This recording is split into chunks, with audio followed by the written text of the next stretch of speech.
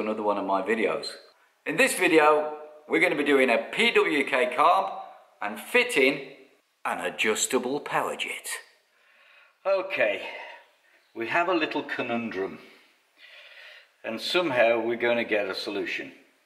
So, we've got a bit of a mountain man who lives 2,500 feet above sea level and his bike doesn't run very good at that level until it comes down to the coast, which is on a 20 kilometres difference. So 20 kilometres down the hill is on the coast, 20 kilometres back up the hill is 2,500 meter, uh, feet above sea level, and his bike just runs awful.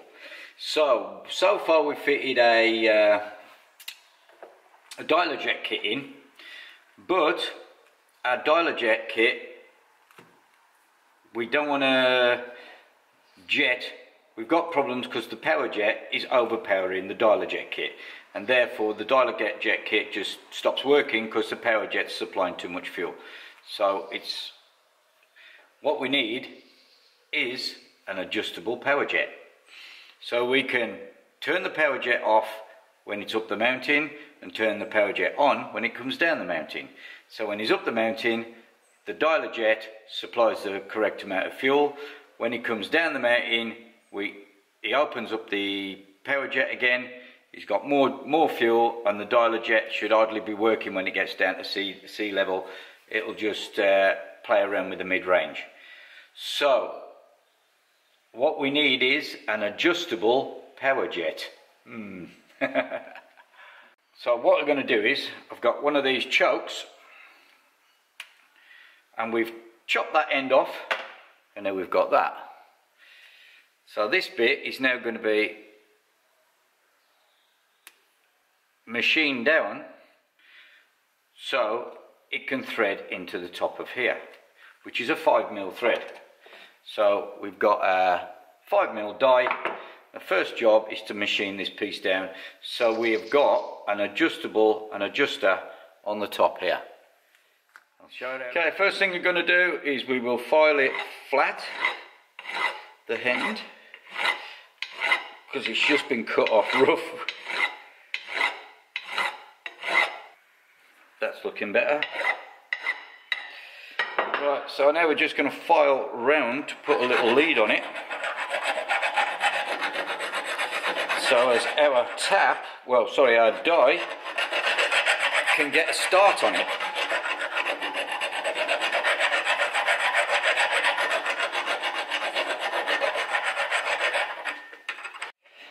Okay, we've got the, uh, we took the little plastic knob off the end of it uh, so we could just grip it in the vise better.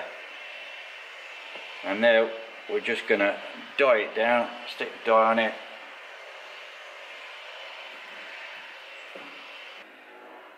That didn't work out too well. What happened there? It's bent. Okay, we're going to have to make another one. That one is a failure. Then, next, we've got another one.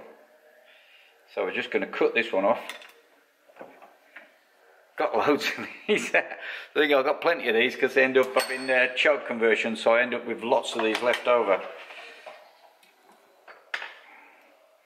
So I'll need to remachine this one now. Probably when I was machining it, it probably bent or something. Right, back to the lathe. Right. Now we've got it in the lathe, we'll just face it off anyway.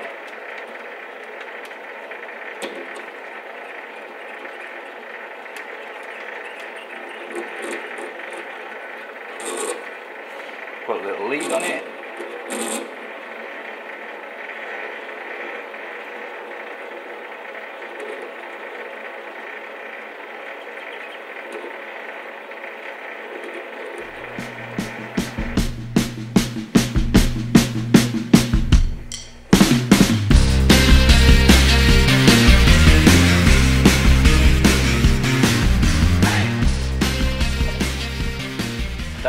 It easier to die down.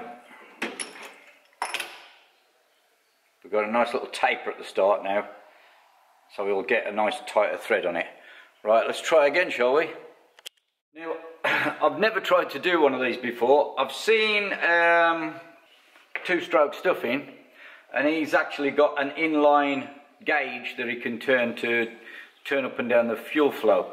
But when you're looking at a, a jet that's only uh, between a 30 and a 40 uh, power jet, that that that little gauge that he's got in line on here, it's not going to make any much difference because the fuel that's in front of it, it's already going to get a gulp of full fuel anyway. So I'd rather have an adjustable jet itself.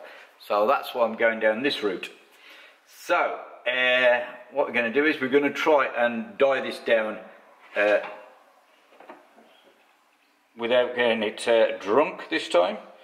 I'm going to be very careful with it. Oh, we better tighten it up. Make sure that it's nice and square.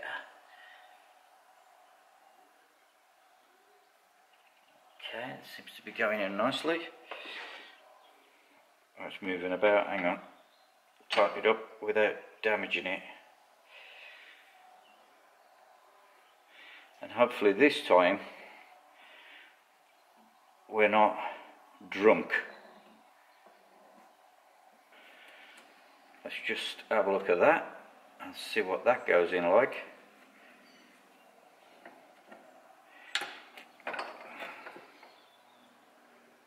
Yeah, that's much better.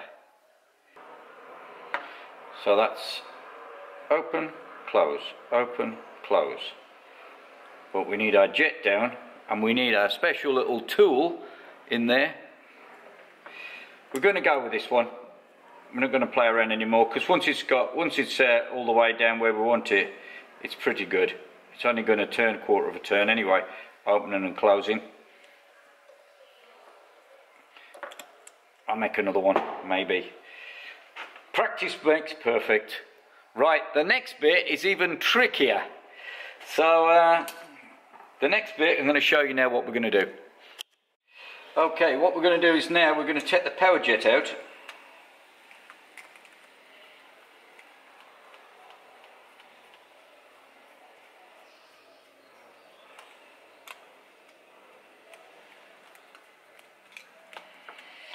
And we need a needle which is a slide needle that will fit nicely in there to block off the power jet.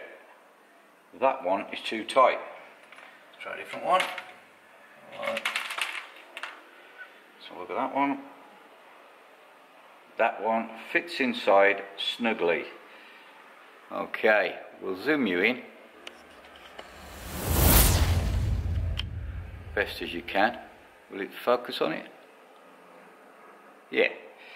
So what we've got is that needle then sits in the bottom of the jet and blocks the jet off. So therefore we've now got, we can adjust it in and out on half a turn. We've got an adjustable power jet. We can completely block it off or we can fully open up or somewhere in between. So this is what we're trying to uh, achieve, an adjustable power jet. So let's, uh, we need to, what we're going to do is we're going to cut this off. First of all, I'm going to machine it so we've got a bit of a flat on it. And it is then, I'm going to have to drill the end of this and this is going to be inside it. So that will have its own needle sticking out like that. So we'll get there, we'll get there. Slowly, slowly. More machining. Okay, so what we're going to attempt to do, if we don't bend the needle trying, is to machine this needle down further up the shank here. We're going to machine it to uh, 2.5 mil. And then we will drill out our other bit to 2.5 mil and hopefully it will be a knock-in fit if we can. So I'm going to leave it just above 2.5. So then I can get a nice tight knock-in fit. So it could be, I might get it right first time, or it might just be a disaster. Let's see.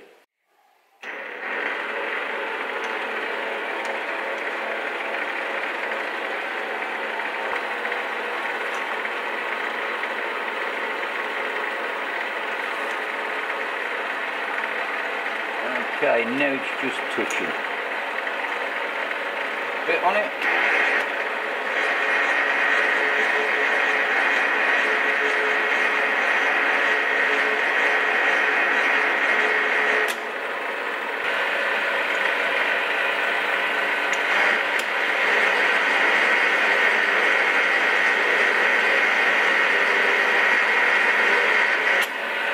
just starting to cut now.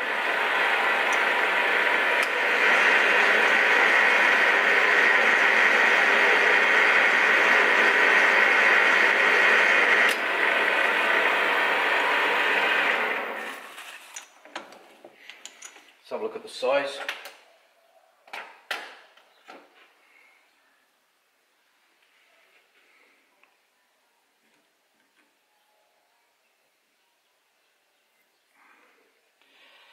So we're on, wow, 2.5 mil. So we don't want to go more than that. Okay.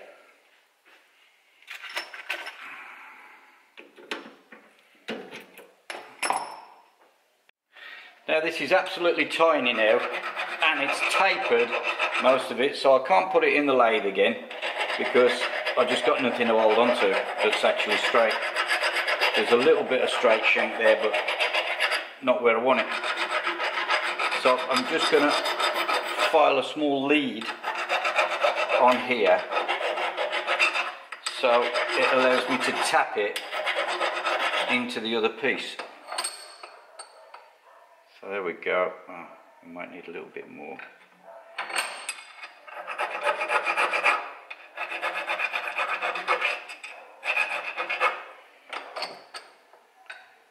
Okay.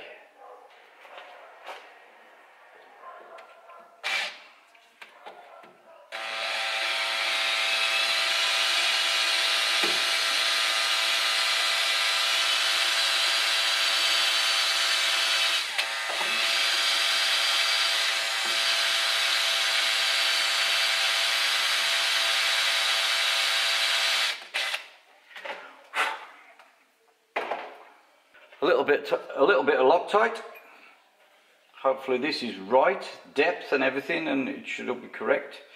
So we're going to drop a little bit of Loctite in. Stick our little pin in and then we're going to tap it in with a copper hammer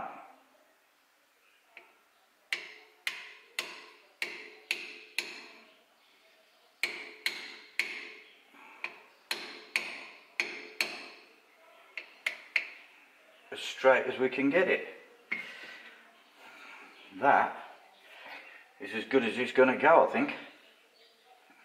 So, okay, it's a bit like trial and error. So this is what we've got. Can that focus? Hang on, give it something to focus to.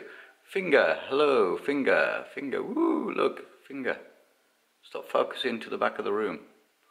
Anyway, you've got a little needle here that fits nicely into the power jet and blocks it off.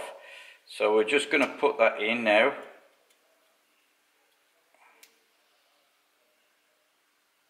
And that's it.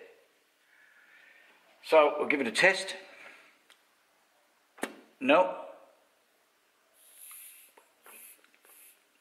Yeah. Off. So we've got a power jet adjuster.